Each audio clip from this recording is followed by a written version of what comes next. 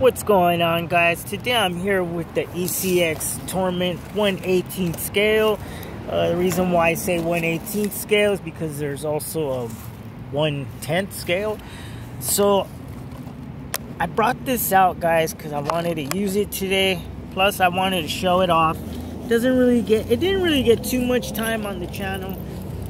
But it's a really good car guys. And the reason why it's a good car is because it cost a hundred dollars. So when I went to go buy this, it was in the hobby shop for a total of a hundred and I think nine dollars. Hundred and maybe even less. I remember it was really low costing. It has a really nice body on it. You can see it's pretty basic, but it looks really good, guys. Even this, this combo they give you here, see that combo? They give you here this combo right here and even this combo is really good. I mean it's it's a two-in-one but it's a good two-in-one and you got a three wired servo so it's pretty good. It's a really decent rc it's uh it's got oil shocks. Uh the only thing when you buy it it will cost you around maybe 120 because uh it needs you need to buy the bearings and the bearings are like eight bucks. So if you buy this RC, make sure you buy the bearings or you you really will be kind of, you know, in the doghouse if you don't because uh, the bushings go bad fast and uh, the car won't go as fast. And when you put these uh, bearings on, they're so easy to put and uh, they make a really big difference. So this is everything. You put your battery in through here really not i like the compartment. You see i got a lipo in there. It does come with a battery. It comes with the nickel metal hydride uh 1800 but it's a really good battery. I mean it really gets this thing up and going. But i brought the lipo instead because we're gonna drive it through the grass. I really don't use my rcs too much in the grass because and then i gotta change out the motor. But uh i'm gonna use it anyways because uh I might change out the motor anyways. Something a little better. But I'm going to keep it brushed. This is not going to be uh, brushless, guys. It's going to be brush. And uh, that's because uh, BLM, Brush Lives Matter. So let's go ahead and get started, guys. I'm going to go ahead and uh, connect this real quick and it's got even a waterproof switch here. See the switch? It's waterproof. And this uh, actual Spektrum stuff looks pretty good. There's its transmitter. Just for you to get this transmitter is really good guys. For a hundred bucks this thing costs almost a hundred bucks by itself. So uh, let me go ahead and button this up and we'll get started all right everything's connected up. That uh that servo works a lot better than a five wire servo. A five wire wouldn't even be able to turn in this type of terrain or grass grass I should say. So let me go ahead and uh, change up this put the hat cam on. All right. Make sure everything's all right. Okay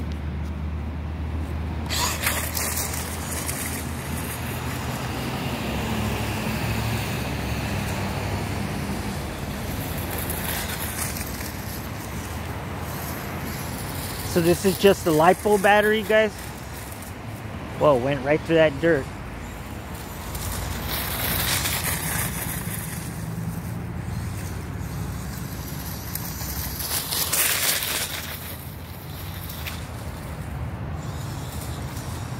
It's a really good way to get yourself into hobby grade RCs.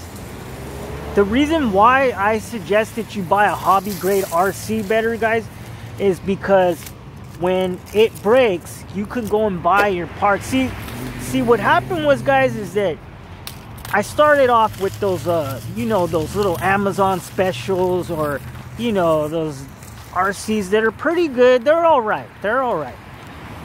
I started off with those, and uh, I just ran it right into like a wall or something. So uh, I broke parts. And I had a friend who was RCing with me and he broke a part on his RC car. And he had a name brand RC, or I should say, he had a hobby grade RC.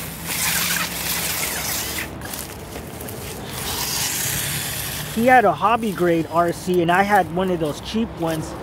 He went to the hobby store and bought some parts and I had to wait two months to get mine. So that's that's when I said that's it. I am not buying any more of those kind of cars because the parts take too long and I want to be able to get my parts like the way he did instantly so I stopped I stopped buying them I stopped buying those cars and started buying RC's uh, hobby grade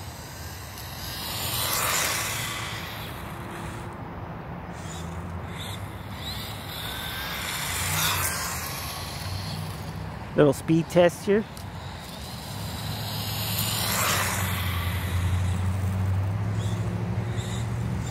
And the transmitter's got a lot of uh, you get a lot on this transmitter you get a lot. I think there's reverse steering. You you get a lot. For a little a little ready to run RC you get kind of a lot.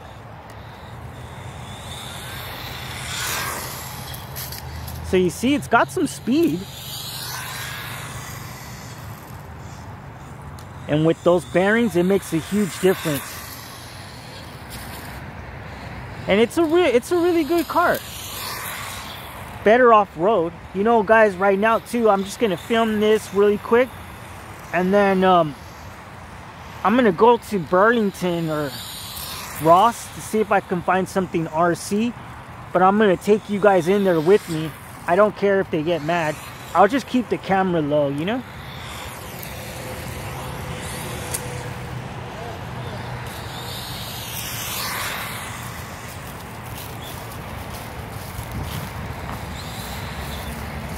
So you guys see, it works really good. Really good car. Look at that. Man, this thing drives great. I forgot how good this thing drives. Those oil shocks are really good. Really good shocks. They're they're plastic, but they're good though. The whole RC is absolutely great, guys. And that's because it's cheap hundred bucks for a Torment for a 118 scale Torment that looks this good and has a decent transmitter with a lot of uh,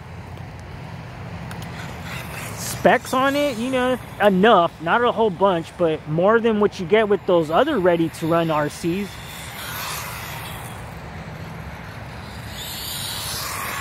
I even suggest the 110th scale Torment. It's the 110th scale Torment is really almost 1 8th scale. And not to mention, um, it, it's a really good car. You could use 3S almost out of the box. You would have to change up the motor because it comes with a 240, I mean a 540. All you have to do is change it to a 550 uh, and you'll be 3S all day. But you see how good this rolls, guys? Look at this. I could like swerve. Look at it. See that? The I could kind of move out of control and it doesn't want to flip over. Just the only thing, the tires will wear fast, you know?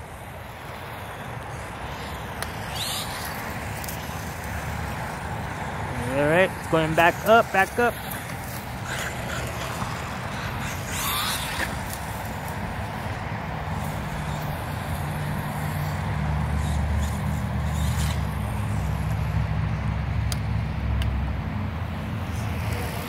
See, here we go.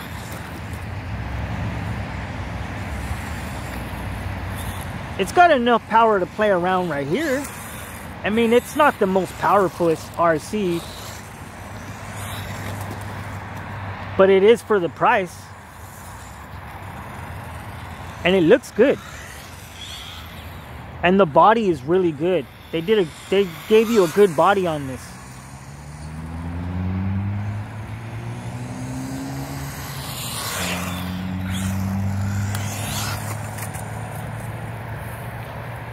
Really good car.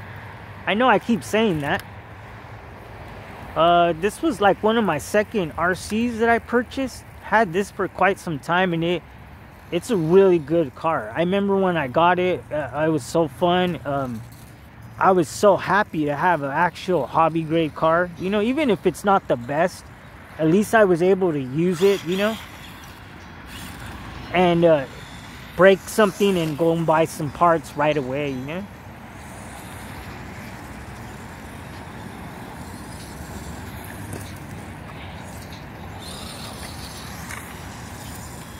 So it doesn't even hop that much for being in the grass. But I think that's pretty much it with my LiPo. I only use my LiPos to 3.8 guys. And then um, that's a wrap. I don't uh, use them till 3.2 or even... Man, that is a lot.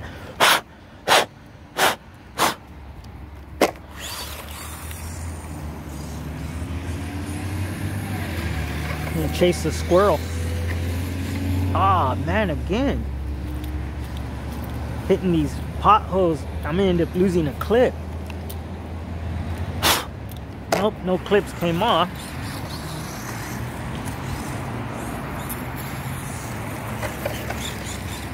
So that's pretty much the end of this one, guys. I'm gonna turn this little guy off and I'm gonna go down to Ross in Burlington to go see if I can find something to buy for the channel. So stay tuned for that video, guys. Thanks a lot for watching and stay tuned for the next video.